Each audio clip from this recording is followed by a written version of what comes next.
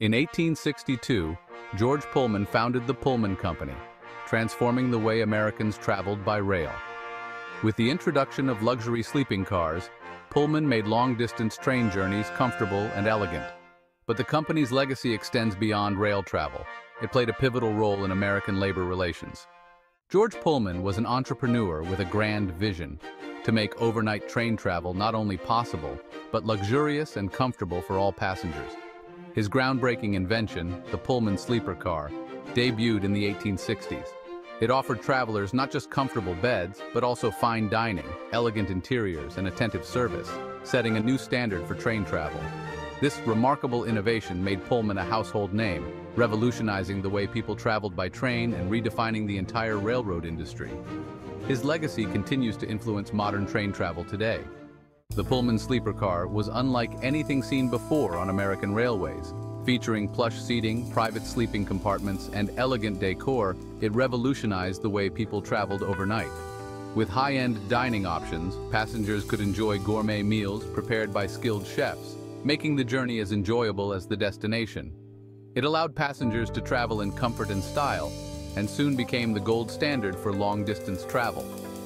The Pullman cars were favored by the wealthy, politicians, and business leaders who appreciated the luxury and convenience they offered. While the Pullman Company flourished, tensions arose between the company and its workers. In 1894, after Pullman lowered wages without reducing rent in his company-owned town, workers went on strike. The Pullman strike became a national conflict, involving the federal government and leading to widespread labor unrest. The Pullman strike highlighted the growing struggle between labor and management in industrial America. The federal government's intervention, led by President Grover Cleveland, was a significant moment in labor history, ultimately leading to the establishment of Labor Day as a national holiday in the strike's aftermath. Though the Pullman Company would eventually decline, its legacy endures in many ways. Its impact on both luxury travel and labor relations remains significant, influencing the way we travel and work even today. The Pullman sleeper car set a standard for comfort in travel, offering unprecedented luxury and convenience for long-distance journeys.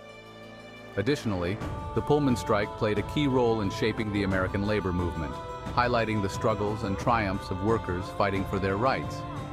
Today, Pullman's legacy is remembered for its contributions to both industry and the rights of workers, serving as a testament to the enduring impact of innovation and social change. From luxury train cars to shaping labor history, the Pullman Company helped define the American experience of travel and labor in the late 19th and early 20th centuries.